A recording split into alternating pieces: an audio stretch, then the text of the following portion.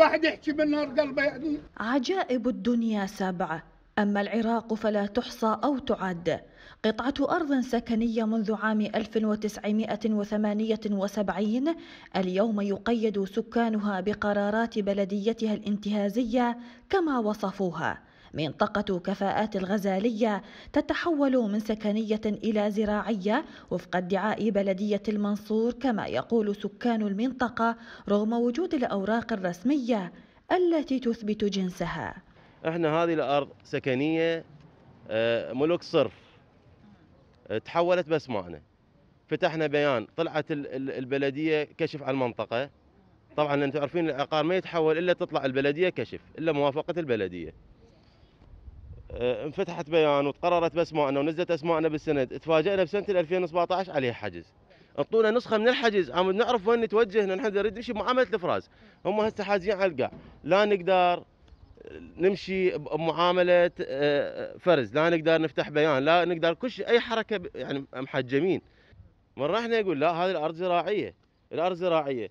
زين هاي الأوراق اللي عندنا إحنا الثبوتية اللي تثبت إنه هذه الأرض سكنية ملك صرف. يعني عيب على على مدير بلدية إحنا فاتحين بيان ومنطينا سند يقول ما عندي أوليات لكم. لا عاد إحنا منين اشترينا؟ إحنا شلون شلون خسرنا فلوسنا؟ يا بنتي وتعبنا. من ذاك اليوم لليوم صار لنا سبع سنوات نايمين هنا. لا إحنا معلقين للسماء ولا للقاع. 200 مليون دينار عراقي قدر المبلغ المستحصل من كل عائلة تفكر ببيع محل سكنها كنوع من التعويض لبلدية المنصور كما يقول أهل المنطقة. ورشوة تقدر بمليون دينار إن قرر أحدهم بناء منزل هنا ومصير الممتنع هدم منزله. والأنظار تتوجه صوب أمانة العاصمة لوضع حد. لتلك المساومات. وحدة المنصور ساوموني لي شخصيا.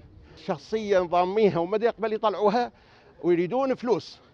نحكيها علني لأن قاموا لا يخافون ولا يستحون. كل ما واحد يريد يبيع له 50 متر تطلع له غرامة مثلا 180 مليون 200 مليون. غرامة مال الكل لأن كلها بسند واحد اعتبروها.